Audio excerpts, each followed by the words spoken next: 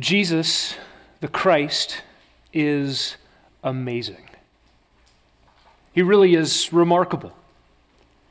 There's nothing about him that is lacking, there is nothing that is missing. In his person, in his works, in his nature, in his attributes, he is incomparable. That we ought to be amazed at him at every turn, at every moment. And sometimes it's kind of scary to be his follower. In a world that is hostile to Christ, in a world filled with unbelief, in a world that at times is marked by persecutions, in a Christian life that is often marked by suffering, it's scary to believe in Jesus. We who are timid and weak in faith can tremble, at times be terrified. I want to put in front of you this evening the Gospel of Mark. And, and just to highlight a few things as you look into the, uh, into the Gospel of Mark for a lifetime ahead of you. If you were to mark out some key words, words like amazement, marveling, wondering, another set of key words related to fear, terrifying, trembling, being afraid. You might also notice the word immediately through the book of Mark, which sort of pushes the narrative faster and faster as we go. You put all of these things together, and you're coming to grips with some of the themes that make Mark unique. We need to hurry up and be amazed at Christ, and we need to hurry up and believe in Him, and sometimes we're afraid. Mark is a gospel account of the life and ministry of Jesus Christ. And you might think, didn't we just do that last week? We studied the book of Matthew. Matthew was an account of the life and ministry of Jesus the Christ. Why do we need two? And next week, you're going to hear from Scott Maxwell from the Gospel of Luke. And then after that, the Gospel of John. And we really need four accounts of the life of Christ?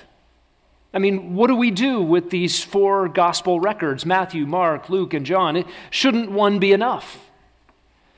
There are two general approaches to the gospel accounts, being in their four flavors. Uh, we could say, uh, let me say, there are two approaches in faith. There are, of course, the unbelieving approaches that say they disagree with each other, therefore they're just human documents, we shouldn't listen. Disregard that one. Uh, but the approaches that see these are works of eyewitness accounts or the records of eyewitness accounts collected uh, by those who wrote them down. Uh, this is truly the Word of God. These are true accounts of Christ, and they don't disagree with each other. What do we do with their differences? Two approaches. One is we harmonize them, we try to put them all together. Uh, maybe put them in chronological order so that we understand the story of the life of Christ better. That's not a terrible approach. In fact, that's an approach based on faith that these are reconcilable accounts, harmonizable accounts.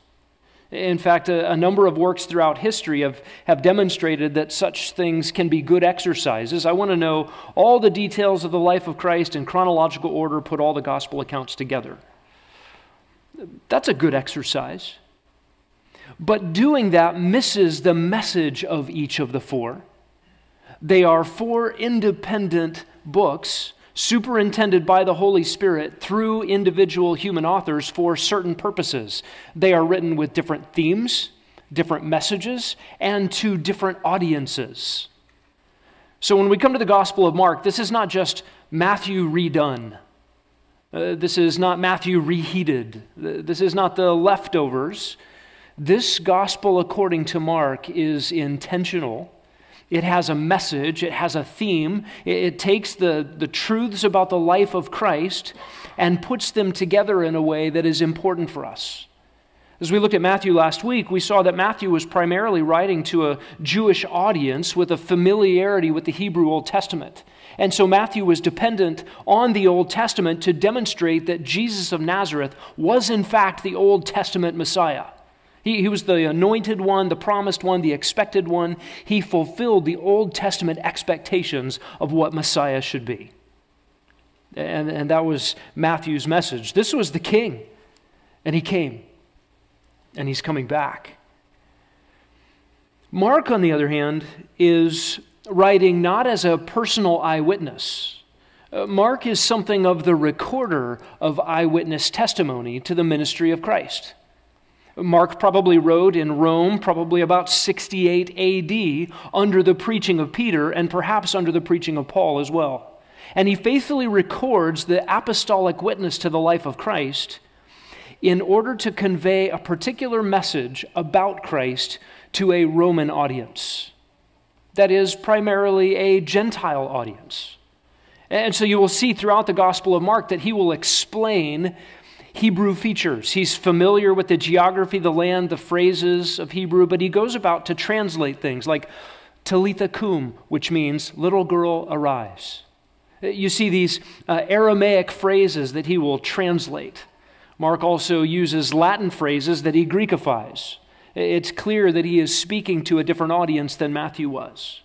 And so his proofs about Jesus as being the Messiah don't come primarily from the Old Testament. In fact, they come from Jesus' authority and power in other ways. What is the message of the Gospel of Mark? Well, it is that Jesus is the Messiah, no doubt about that. But it comes in the context of Rome, probably in the late 60s, that is, Roman Christians facing increasing opposition and hostility for being disciples of Christ. What that means is Mark is going to frame up this gospel in terms of a pressing need of his audience. Gentile followers of Jesus who are facing hostility for following Christ. I am dependent on John Anderson's divisions uh, in great measure for understanding the flow and the outline of this book. He's made some remarkable observations about the, the breaks grammatically in this book. They're going to help us thematically understand the flow of this gospel. I'm going to give you four sections. These are my titles, but they are stolen completely from John Anderson's divisions. Okay? Uh, division number one we'll call a qualified Christ, followed by division two, a counterintuitive message, followed up by division three, a disappointing assessment, and finally, division four, a stunning rejection. Let's look at this qualified Christ, and this will take us really chapters 1 through the middle of chapter 8.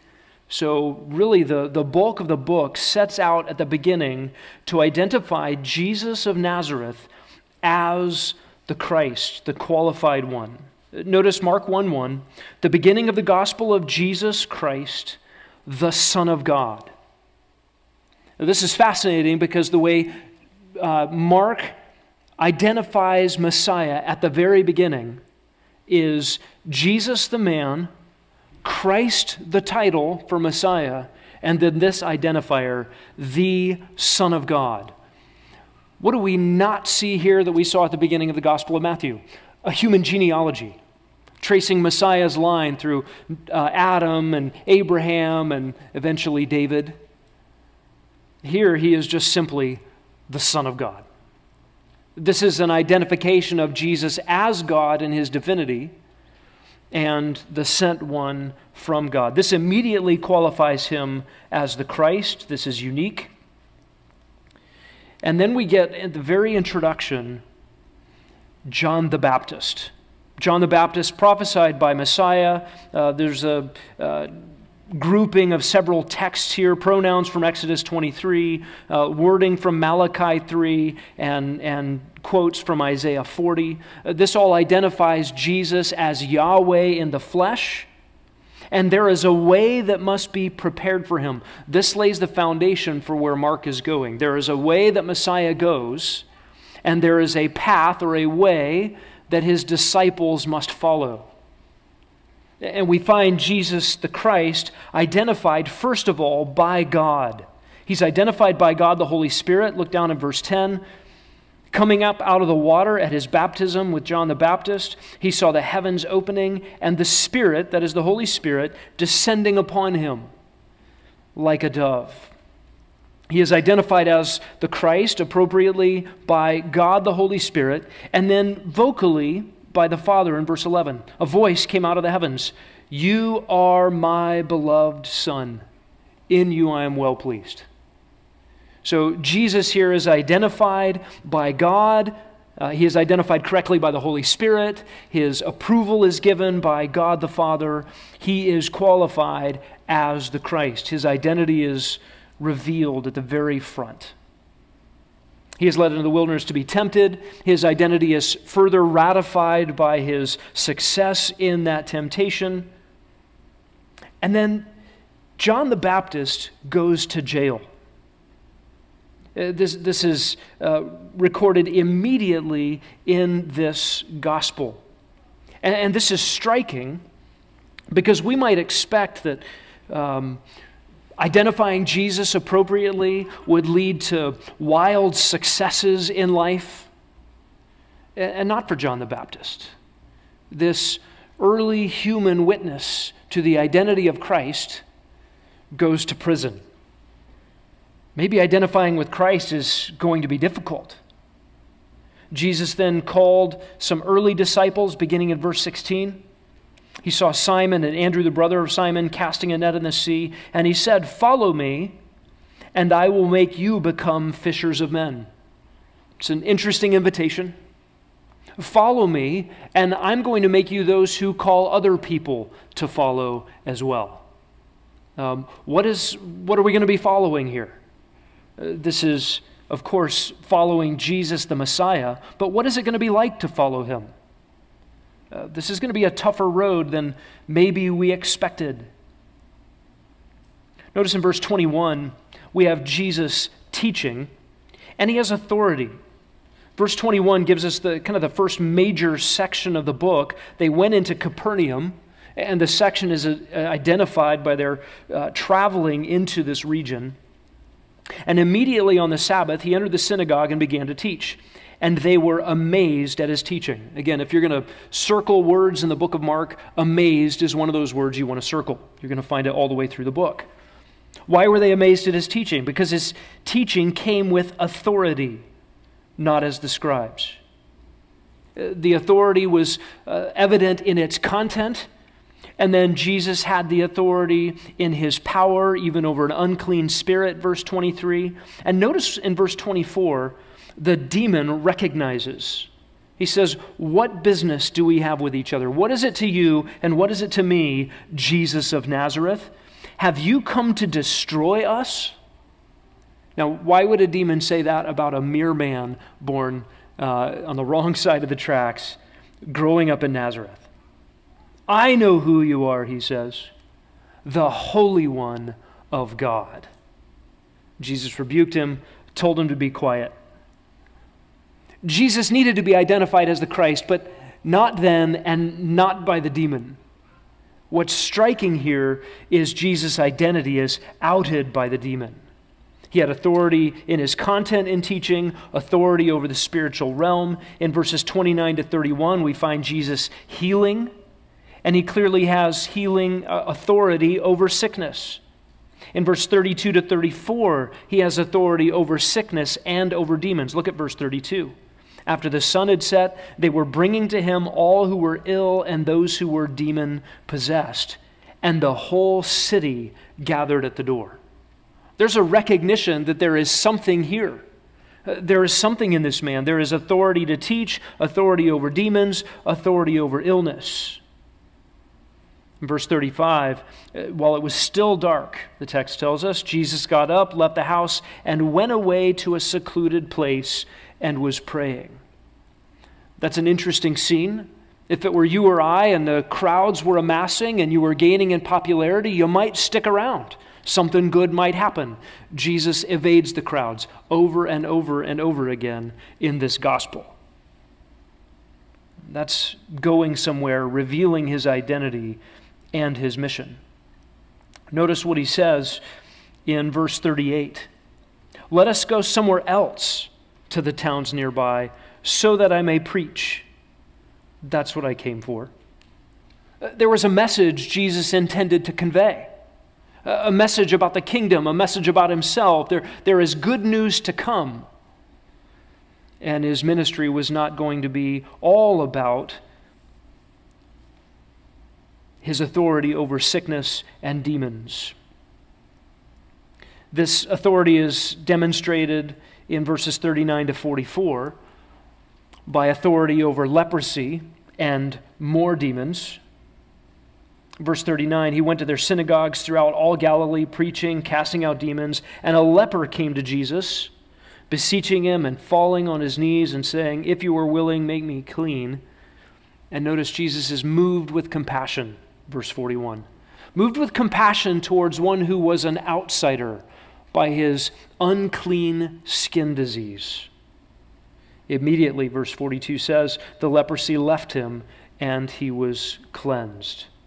You see a lot in the book of Mark about those who are inside and outside, and it sort of flips the script of what we might expect. Here, the leper is welcomed in and healed.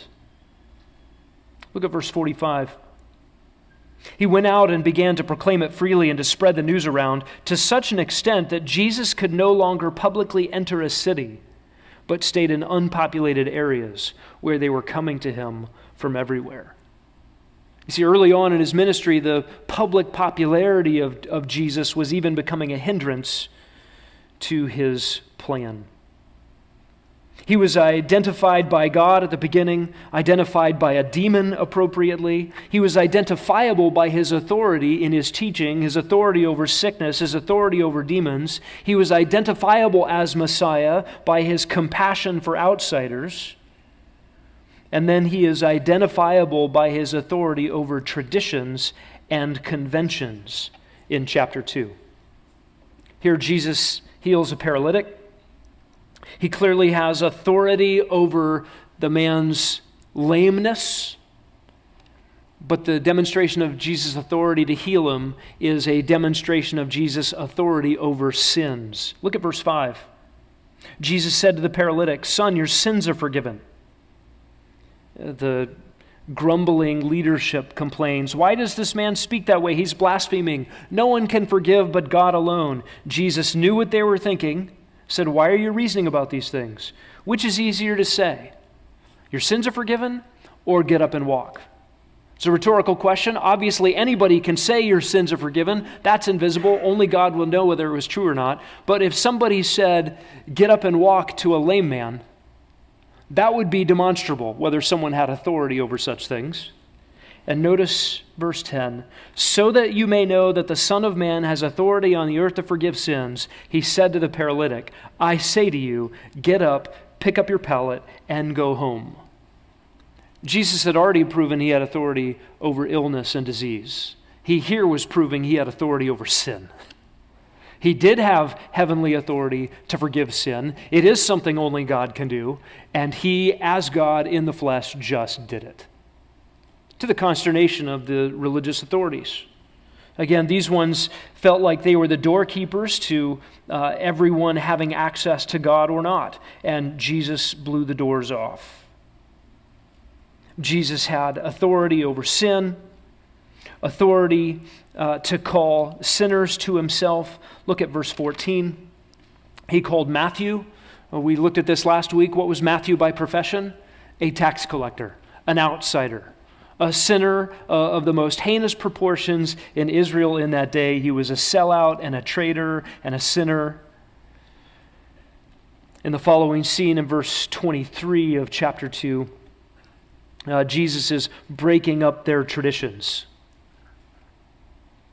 He's demonstrating not only that he came to call the sinners, not those who thought they were righteous, but he was also blowing up the traditions of those who consider themselves to be better than others in following God's law. Here, Jesus concludes the scene in verse 28 the Son of Man is Lord over the Sabbath. He is the ultimate authority. As God in the flesh, He's the one that invented the Sabbath. He's the one that knows what's good to do and not do on the Sabbath. And His authority identifies Him as the one He's bigger than their traditions and conventions. Look at Mark chapter 3. Here, Jesus openly challenges the synagogue system. Again, on the Sabbath, this is intentional. He entered there, and a man was there whose hand was withered. And they were watching him, verse 2, to see if he would heal on a Saturday, so that they might accuse him. And he said to the man with the, with the withered hand, Come up, come forward. He's going to do this in front of everybody. And then he challenges the synagogue Is it lawful to heal on the Sabbath, to do harm or to do good, to save a life or to kill? And they kept silent. After looking around at them with anger, grieved, notice this, at their hardness of heart. What was the root of this challenge of authority? For the leadership, it was unbelief. And he said to the man, Stretch out your hand. And the man who had no ability to stretch out his hand obeyed the command of Jesus, and his hand was healed. Uh, the, the man with the withered hand couldn't do anything with that hand, it was useless. And at the very command of Jesus, there was power to stretch it out. This authority over the physical realm was a demonstration of Jesus' authority over the spiritual realm as well, and a rejection of the so called authority of the Pharisees. And look at verse 6. The Pharisees went out and immediately began conspiring with the Herodians. Those two groups aren't buddies, but now they have a common enemy as to how they might destroy him. What is the response to this qualified Christ who's been identified by God as Messiah, identified by a demon, identifiable by his authority over sickness and, and demons and illness? He's identifiable by his compassion. He's identifiable by his authority over their traditions and conventions. He's here in Mark 3, identifiable by his incomparable power to do the impossible, and he is rejected. Rejected. Could you imagine being in the room? And you just watch the impossible happen, and you're worried about what day it occurred. What's the real issue? The hardness of heart and unbelief driven to murderous intent. This is not just a, oh, I could take him or leave him. Yeah, Jesus is just all right with me. Doobie Brothers response. This is, we want to kill him. This is an outlandish rejection of a qualified Messiah. In verse 7, you see the crowds following him. The demons recognize him again in verse 11. Look down at verse 11. Whenever the unclean spirits saw him, they would fall down before him and shout, You are the Son of God. Do you remember how Mark started? The beginning of the gospel of Jesus, Messiah, the Son of God. Who's getting it right so far? The demonic hordes, not the religious leaders. The disciples aren't going to get it right for quite a while. Jesus chooses the 12 in verses 13 to 19. And then he returns home. Look at verse 20. He came home, and the crowd gathered again to such an extent they could not even eat a meal. And then the scribes had come from Jerusalem, and they were saying, He's possessed by Beelzebul. He casts out demons by the ruler of demons. And Jesus demonstrates the faulty logic of the argument. But look at verse 31 really verse 20 and verse 31 give us the, the, the, main idea of what's going on here. The background to that was the scribes claiming there was satanic involvement. But he came home in verse 20 verse 31 his mothers and his brother his mother singular and his brothers arrived and standing outside they sent word to him and they called him. Uh, what were they trying to do? They're, they're trying to get him to stop being out there in public and, and, and just kind of going over the top with, with the message and, and the powers. Uh, they're trying to put a leash on him here. And Jesus' response is to his mothers and brothers being outside Who are my mother and my brothers? And looking around at those who were sitting around him, he said, Behold, my mother and my brothers. Whoever does the will of God, this is my brother and sister and mother. He's identifying faith as those who believe him in who he is. And he's identifying that even those who were closest to him had moments of unbelief or even categorical unbelief for some of them. That moves into a parable about belief and unbelief in chapter 4, the parable of the soils. There's one believing soil, and the rest are, are manifestations of unbelief uh, that look like sort of temporary agreement or uh, partial excitement, but then other things choke out that incipient faith. Look at verse 12. There are consequences of unbelief. This is the doctrine of judicial hardening, Jesus says here. While seeing, they may see not.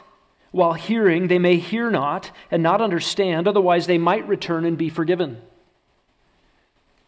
This is a, uh, a serious warning in the midst of some parables about belief. In the midst of Jesus being absolutely amazing, credentialed, and obviously the Messiah and then facing rejection at home, rejection from the leadership, basically rejection from nearly every human character in the story so far. And Jesus says, Watch out. You might not always be able to believe. You stiff arm God when His word is clear, and you may face judicial hardening. The consequence of unbelief may be more unbelief. You may get what you want. Jesus in verses 21 to 25 then tells him, Take care how you listen. Kingdom parables follow, and they're given in mystery, um, just like we saw last week in Matthew. There's going to be parables given and then explanations given to insiders. This is part of the judicial hardening. You don't want to listen to Messiah, you don't want to embrace his message. Uh, you may not always get the freedom to hear and to listen. Jesus demonstrates his authority over the sea in verse 35. On that day, when evening came, he said to them, Let's go over to the other side. They went in the boat. Fierce winds came up. Jesus was in the stern, asleep on the cushion. They woke him and said to him, Teacher, do you not care that we're perishing? He got up and rebuked the wind and said to the sea, Hush, be still. Notice what happens next. The wind died down and it became perfectly calm. The meteorological conditions identified him as Messiah. I don't think in this life I'll ever forget standing with Rick Holland on this hill overlooking the sea and Rick preaching from this text the next scene, the Gerasene demoniac. Uh, there, we drove up this winding hill, and there were the caves right there where this guy would have been living who we find out has legions of demons inside of him. Why was he on the scene? Why did he approach Jesus and the disciples? Well, he would have experienced the same storm they did. He would have experienced the shocking realities that the wind stopped instantly after these guys are being tormented at the oars, driving across the wind in this impossible race against a storm. All of a sudden, uh, the the storm is calm and the waves are done. That's not normal. That's eerie. That's supernatural. Something stronger than a legion of demons just walked up on the shore, and this guy full of demons is headed for a confrontation. Immediately, Mark reports, verse 2, the man from the tombs with an unclean spirit met him. Look what he says in verse 7 Jesus, Son of the Most High God, Here's another proper identification. I implore you by God, do not torment me. Again, he understands the power this one has. And then you're familiar with the story. The, the demons have to ask permission to not immediately go to demon prison. Instead, can we go into those pigs? They run the herd of pigs off the, off the cliff into the sea. The locals are frightened. The disciples are frightened. Look at verse 15. They became frightened. Un- understatement. Verse 20 everyone was amazed. Jesus crossed in the boat again to the other side and carried on more healings. Listen, the disciples missed it, even though the weather understood who he was. The disciples missed it, even though the demons knew who he was. And then you have two Gentiles in Mark 5 uh, Jairus, the synagogue official whose daughter got sick and died, and then uh, a hemorrhaging woman who would have been, again, considered an outsider and helpless uh, because of her bleeding. She would have been uh, unavailable for temple procedures, she would have been considered unclean and kept outside. Jesus has compassion by both. Of course, with the raising of Jairus' daughter, Jesus' identity is identifiable by his authority over death. In Mark chapter 6, he goes back to his hometown and he sees unbelief.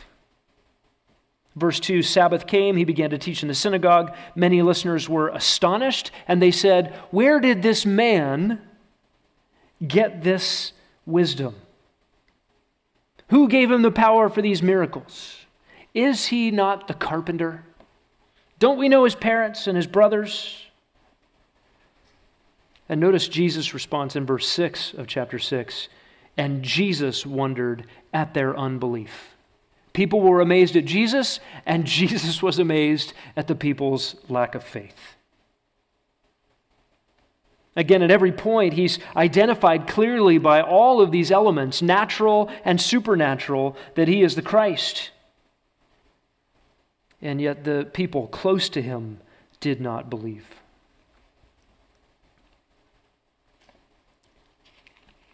John the Baptist gets beheaded. The 12 are sent out, commissioned to Jesus uh, to preach and to heal. And then you have the 5,000 fed, beginning in Mark 6 33. Many people recognized them. They ran on foot from the cities and they got to the spot ahead of them. When Jesus felt, uh, when Jesus went ashore, verse 34, he saw a large crowd and he felt compassion for them. Why? Because they were like sheep without a shepherd. What did Jesus know about these people? They, they needed spiritual shepherding, they needed spiritual food, and he felt compassion for them. He, he fed them to demonstrate that he actually was the good shepherd that could give them what they needed. And they missed the point. What, what did the crowd do? They, they were glad to be satisfied by the food. And yet they weren't being satisfied by his words and by himself. The last part of chapter 6, Jesus walks on water, and a remarkable scene here where Jesus identifies himself as God. A couple of clues to this. Verse 48, as the disciples again are being tormented at the oars, they're straining against the wind. And the end of verse 48 says, He intended to pass by. I think this is probably a reference to Exodus 34 6 uh, the, where God passed by Moses and, and communicated his compassion to him. They saw him and they were terrified. He spoke with them and said, Take courage. It is I. And the it is I there is, a, is an ego eimi or an I am. Don't be afraid. I am. Right here in the context of, of passing by. I think all of these are references to Jesus identifying himself as God. There are more healings. Look at verse 52. The disciples had not gained insight from the incident of the loaves, but their heart was hardened. All the evidence on display that this Jesus is the Christ, and, and the disciples don't quite get it. Mark 7 deals with what's clean and what's dirty. The disciples are the, uh, the, the Pharisees, uh, the leadership of Israel, the religious hoity toities, they're clean on the outside. Jesus reveals, uh, You're actually filthy, and the heart is the problem. Uh, look down at verse 21 of Mark 7. From within, out of the heart of men, proceed the evil thoughts, fornications, thefts, murders, adulteries, deeds of coveting and wickedness, deceit, sensuality, envy, slander, pride, and foolishness. These are the things which proceed from within and defile. You're not getting dirty before God because of stuff on the outside. The Pharisees' traditions of you got to wash your hands just a certain way so you can be clean. God sees right through all of that and knows what's going on in the heart. And then immediately, Mark moves on to the Syrophoenician woman. She's dirty in their accounting. She's outside. She's a Gentile, verse 26, of the Syrophoenician race. And Jesus comes to her and helps her in her time of need. Verse 37, you get another amazing word. They were utterly astonished. They recognize Jesus' power, they recognize his ability, his authority, again, over physical weakness. They don't quite understand his mission. In Mark chapter 8, you have a large crowd. They probably are a response crowd to that Gerasene demoniac that got healed. This is in Gentile territory. Now 4,000 are fed. The disciples are still unbelieving. Uh, Jesus says, Hey, provide for them food. This just after the feeding of the 5,000. They should know how this works and they don't get it. Or, or maybe their unbelief is expressing itself in a reticence to help Gentiles. Maybe they don't like the outsiders. Whatever the case, Jesus says, You have hardened hearts. Do you not see? Do you not yet understand? Verse 21. And verse 21 ends this first section. If you summarize this first section, uh, we, we would say this is a qualified Christ. And what is the response of the sinful humanity that needs a qualified Christ? Unbelief. That they don't understand. They do not see. They do not get it.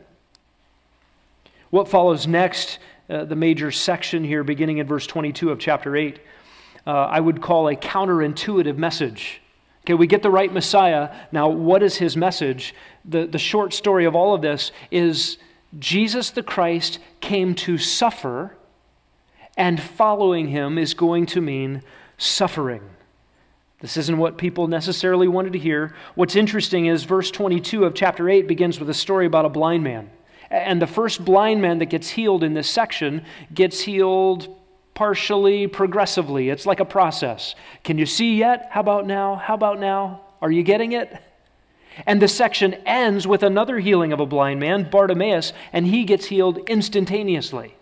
And it's almost kind of a, a creative literary way to bracket this section of do you understand the qualified Messiah's message about suffering? Do you see it yet? Okay, now you see it. It's an interesting way to, to highlight this major section. You need to open your eyes to this counterintuitive message. Look at verse 29 of chapter 8.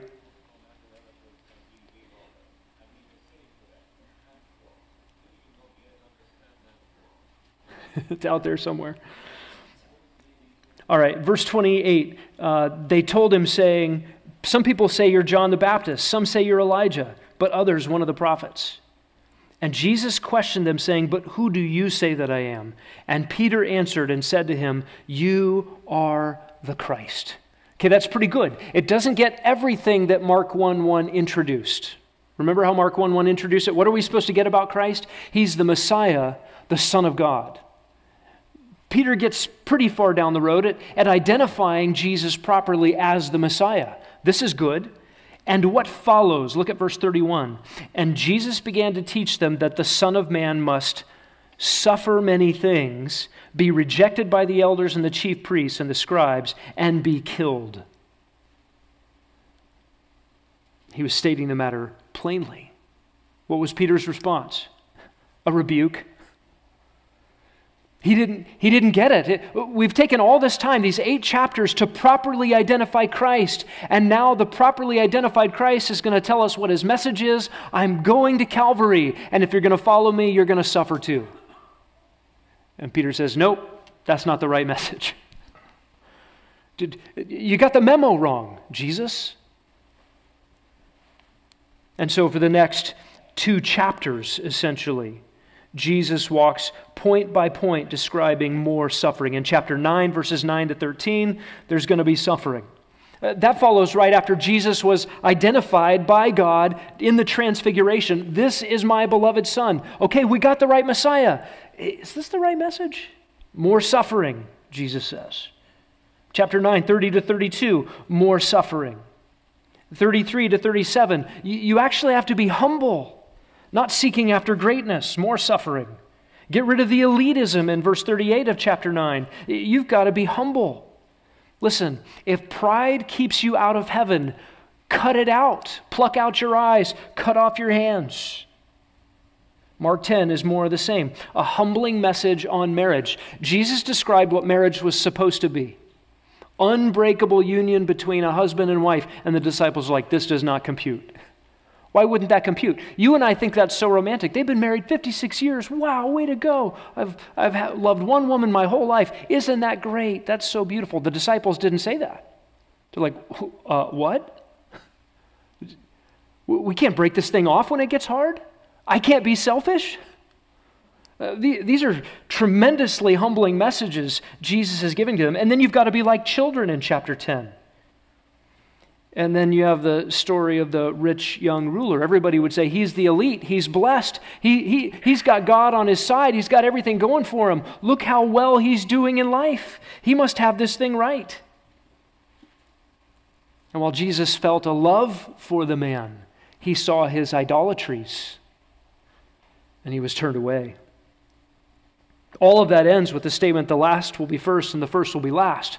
Uh, this is a counterintuitive message. This is not going the way the disciples might have hoped. Okay, we got the right Messiah. That's our ticket to fame and stardom and power and prestige and a place. Those Pharisees have a place. We want a place like that. And Jesus is saying it, it's not going like that at all. The Gentiles think that way, they lord it over one another. You be humble you're going to suffer. What follows in the remainder of chapter 10 is, stories about humility as slaves. The Messiah is a slave. If you're going to follow in his path, walk on his way, you must be a humble servant as well. And chapter 10 ends with the healing of blind Bartimaeus all in an instant. And it's like, oh, okay, I got it. Got the message. Now I see. Right Messiah, and his way, his path, and his message is one of suffering. Where does that lead us? That leads us to the third section, and it is what I would call a disappointing assessment. Chapter 11 to the middle of chapter 14. And this assessment goes two ways Jesus is being assessed by the crowd, and then Jesus is assessing the assessors. How does this go? Not well. It begins in chapter 11 with the triumphal entry. This, of course, is a fulfillment of, of Zechariah 9 9. Your Messiah will actually come to you on a donkey, on a colt, the foal of a donkey. And this is a fulfillment of Daniel 9:25 down to the very moment, down to the very day that Daniel prophesied Messiah as king would enter into Jerusalem. And, and how did it go? Uh, there, of course, fanfare, people that are excited, people that have gotten on the, the, the, the train uh, they, have gotten on the bandwagon of, of fanhood of, of this Christ figure, but they don't accept him for who he truly is, and they don't particularly embrace his message. Of course, he's popular when they get free lunches and their physical discomforts are taken away. But what about when it means to follow him into suffering in faithfulness? Right after the triumphal entry, you get this shocking scene. Verse 13 of chapter 11. Seeing at a distance a fig tree in leaf, he went to see if perhaps he would find anything on it. And when he came to it, he found nothing but leaves, for it was not the season for figs. What does that mean? This was not the season for fruit in Israel. This is a, a metaphor, physical tree as a metaphor of a spiritual condition of an apostate nation when Messiah arrived. It's tragic. They assessed him. Blessed be the king. And in the end, we know he's rejected. That rejection was already in the heart, it would manifest itself in the politics. And Jesus sees straight through it all and sees a fruitless Israel. This is a disappointing assessment. After uh, designating a fruitless Israel, he discovers the corrupt temple. He doesn't discover it, he reveals it. He goes in and cleanses the temple. He was driving out those who were buying and selling. This was supposed to be a, a house of prayer and honor to his father. Verse 18 says The chief priests and scribes heard this, and they began seeking how to clean up the temple because he was right. No, they began seeking how to destroy him. Again, unbelief in the heart of the spiritual leadership of the nation to the degree of murderous intent. This is disappointing. They should have welcomed him. They should have recognized him. They should have embraced his message. They should have known this is the one that was fulfilling all the hopes of the Old Testament. Verses 27 to 33 detail the unbelief of the leadership in dramatic fashion. Then you get to Mark 12. Jesus tells a parable, and he describes those who were workers in a vineyard who killed the messengers of the owner of the vineyard. Jesus is speaking to them, he's exposing their murderous intent. He's telling them, you, you don't own this vineyard, it's not yours, it doesn't belong to you, and you're actually trying to kill the people that belong to the owner. Verse 12 says they were seeking to seize him. What was their response to this exposure? Yeah, we really have to kill him now. But they feared the people. They understood that he spoke the parable against them. So they went away. This is followed up by the traps, sort of the trick questions they try to get him in. Uh, Jesus' truth is so demonstrably obvious, they're ashamed. Uh, they turn away, they stop asking questions. Look at verses 35 to 37. Jesus began to say to them, as he taught in the temple, How is it that the scribes say that the Christ is the son of David? David himself said in the Holy Spirit, The Lord said to my Lord, Sit at my right hand until I put your enemies beneath your feet. David calls him Lord. In what sense then is he his son? And notice they didn't ask him any more questions. Why? What was Jesus doing here? He was identifying himself as the Son of God, as David's Lord, and as Messiah, all in one rhetorical question. They refused to answer it, they knew the implications of it. They rejected him in unbelief.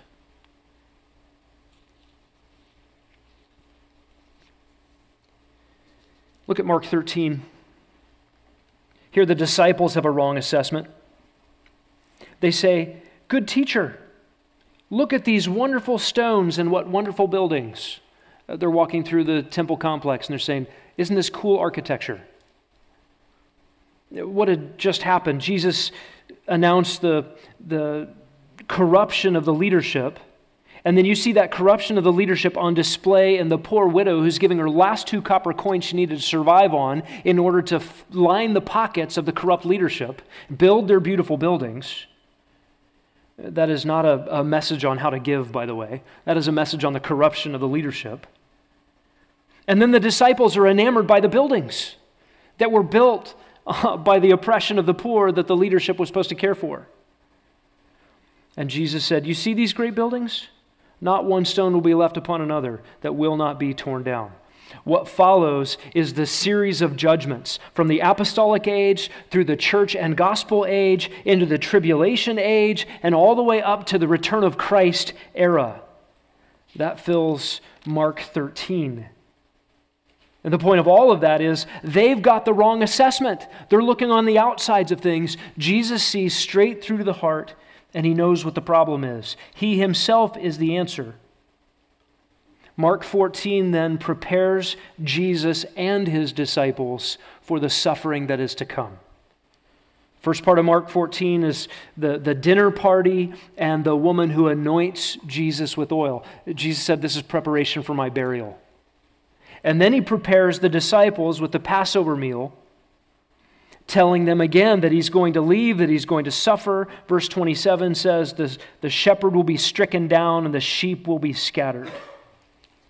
They go to the Garden of Gethsemane, and this leads to the final section. We've seen a qualified Messiah, his counterintuitive message, the disappointing assessment all around, followed by the stunning rejection. This begins in verse 32.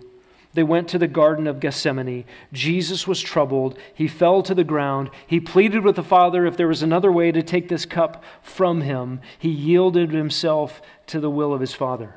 Verse 43 is the betrayal by Judas. Then we see the dispersion of the disciples. In verses 53 to 65, he is accused by the spiritual leaders of Israel. Beginning in verse 66, he's even disavowed by Peter. In Mark 15, in verse 1, he's condemned by the rulers, traded for a criminal, and rejected by the nation. And then verses 16 to 21, he's mocked by the soldiers.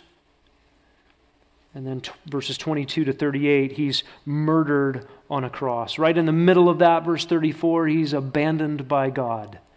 Why, he cries out, have you forsaken me? Look at verse 39, Mark 15. When the centurion, who was standing right in front of him, saw the way he breathed his last, he said, Truly this man was, do you see it? The Son of God. What has Mark been driving at from verse 1? This is the good news of Jesus the Christ, the Son of God. Who is the first human to identify him that way? A Roman centurion, a Gentile, who is carrying out his execution. Uh, this whole book has really been a tragedy of the response of unbelief to the right Messiah and the right message. What is Mark's point? What is he driving at in all of this? You, Roman Christians, facing persecution for following Christ, listen, you've got the right Messiah. He is the Son of God, He's amazing, and you're trembling. Take courage. There were women looking on from a distance, verse 40. He was grieved by those women. He was buried by Joseph of Arimathea. That leads to Mark 16. And Mark 16, this last installment of the Gospel of Mark, it runs from verse 1 to verse 8. Really, that is where the Gospel of Mark ends. On the Bible wall in the hallway, it ends at verse 8. There is no verses 9 through 20. And if you want to know why there shouldn't be verses 9 through 20 in your Bibles, I would encourage you to listen to Grace to You and the final sermon from the Gospel of Mark by John MacArthur. And he explains in an hour why those verses shouldn't be in your Bible. I won't take the time to do that there. I'm just going to read to you the actual ending of Mark. Let's read it together. When the Sabbath was over, Mary Magdalene and Mary, the mother of James, and Salome bought spices so that they might come and anoint him. Very early on the first day of the week, they came to the tomb when the sun had risen. They were saying to one another, Who will roll away the stone for us from the entrance of the tomb? Looking up, they saw that the stone had been rolled away, although it was extremely large. Entering the tomb, they saw a young man sitting at the right wearing a white robe, and they were amazed. What, what, what should they have been at this point? Believing? Believing Jesus was the right Messiah and his message of suffering that he had taught again and again and again in this book, that he would actually die and rise again. They were amazed. And he said to them, Do not be amazed. You're looking for Jesus the Nazarene who has been crucified. He has risen. He's not here. Behold, here's the place where they laid him. But go, tell his disciples, and tell Peter, he's going ahead of you to Galilee. There you will see him, just as he told you. They went out and fled from the tomb, for trembling and astonishment had gripped them. And they said nothing to anyone, for they were afraid. Period. End of gospel. That's how it ends. Fear was that word that had gone through the whole book. Amazement had gone through the whole book. Trembling and astonishment had gone through the whole book. And here's where it ends. Again, Peter is the one preaching these messages in Rome. Mark is writing them down and records it this way for us. What is the encouragement if you put yourself in Rome in the late 60s AD? Jesus is amazing. And sometimes it's scary to be his follower. Do I have what it takes to walk in his way, to, to walk in his path, to take up my cross and follow him, to deny myself, to not seek after worldly greatness, but to be like a child, to be humble, to face trouble and hardship? If I can have him, yes. That's the point of the Gospel of Mark. You may be little, Christian. You might be little in the eyes of a great big world. You might be small in the eyes of the Roman Empire. You might face difficulty and persecution, maybe rejection by your family and the culture. But you've got the right Messiah. And a message about suffering, it's not the wrong message, it's the right one. Belief. Let's pray. Lord, thank you for this good news. The good news of the kingdom right at hand. The king was here, and he was rejected, despised, spat upon, beaten, disbelieved. Oh Lord, we believe. Help our unbelief. Let us be faithful witnesses to this Jesus, the Christ, the Son of God, as long as you give us breath. Amen.